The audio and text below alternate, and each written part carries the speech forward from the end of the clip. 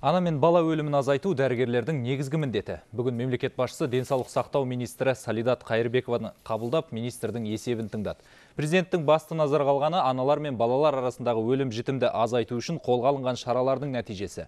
Соңғы 9 айда өткен жылдың сәйкес мерзімімен салыстырғанда бала сүтінде қайтқан әйелдердің үлесі 24 пайызға, сәбилердің шетінеуі 17 пайызға азайған. Бұған қоса қан айналымы жүйесінің бұзылуынан өлген науқастардың үлесі 6, қатерлі ісіктен көз жұмғандардың саны 4 пайызға кеміді.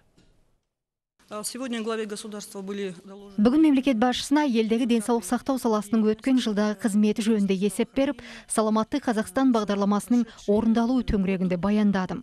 Елбасы бірқатар нақты тапсырмалар берді. Оның бір бағыты ұлт денсаулығын нығайту мәселесі, екіншісі бәсекеге қабілетті денсаулық сақтау жүйесін қалыптастыру жайы.